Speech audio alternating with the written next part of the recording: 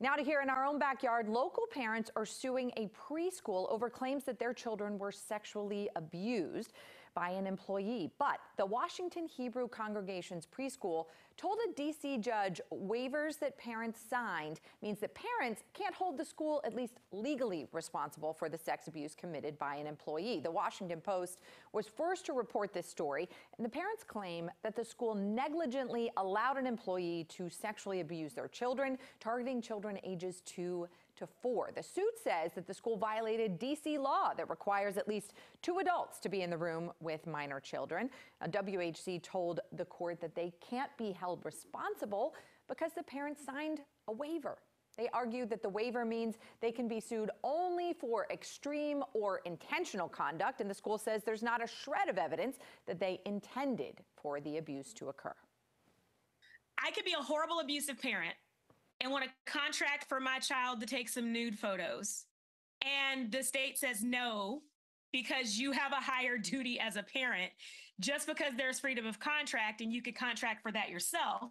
When you're contracting on behalf of a minor, the standard is different. The fundamental legal principle that children cannot protect themselves. And so the law then has shifted that burden to all the adults around them to engage in protective measures that we don't normally ask of citizens, but we do when it comes to child abuse because we recognize children cannot protect themselves.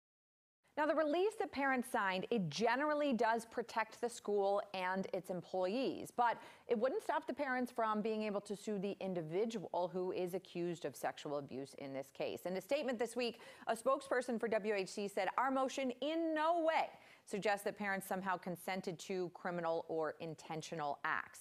The judge will first decide legally whether those waivers can block the parents from suing. If not, the trial is scheduled to begin March 2023. A San Francisco woman is suing the city and its police department. The woman, who we'll call Jane Doe, says authorities used her DNA from a rape kit where she was the victim to peg her as a suspect in a burglary completely unrelated to the rape case. Her attorneys say what happened to her was an unconstitutional invasion of privacy.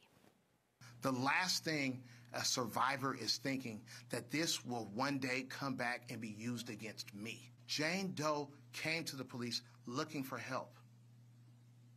She came to the police looking for them to do right by her. And instead, the police betrayed her. Jane Doe claims her DNA was collected in 2016 while police were investigating her sexual assault. It was later stored in a database without her knowledge or permission. Then she claims five years later, police used the DNA sample to arrest her for burglary. The charges against her were eventually dropped. Her lawsuit alleges her DNA was tested against crime scene DNA in hundreds, if not thousands, of cases and says she was re victimized by the whole ordeal. You put a lot of trust in the people in the system to make yourself vulnerable like that. Do you feel like they lived up to their end of their bargain? Absolutely not. Absolutely not. The opposite. They betrayed my trust even more, and it just made me relive the whole situation.